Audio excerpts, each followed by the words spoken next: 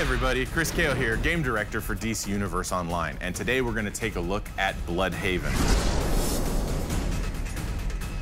Blüdhaven is a city much like Gotham, but it has a much more twisted past. A huge techno monster, Chemo, was dropped on the city and he exploded, spreading pollution everywhere and contaminating the citizenry and mutating it horribly.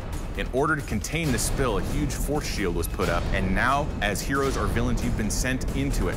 So let's take a look inside Blüdhaven. You arrive below the shielding dome in Blüdhaven, toxic nightmares all around, mutants struggling through the mess, and it's your job to stop the mutations from going any further.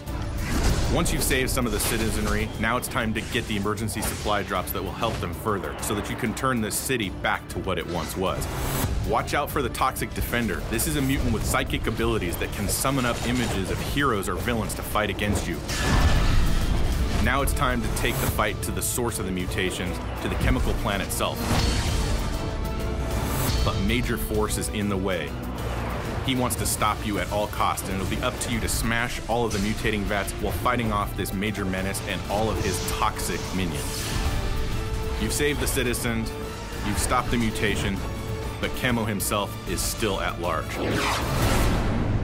You're gonna have to smash buses, throw mutants out of the way, and protect the hazmat troops as they cleanse and detoxify Chemo. That's the only way to defeat him. If you go up against him by yourselves, you will fail. You need their help in order to win the day.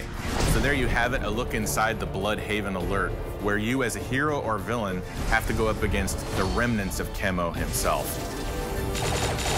Remember, in DC Universe Online, the next legend is you.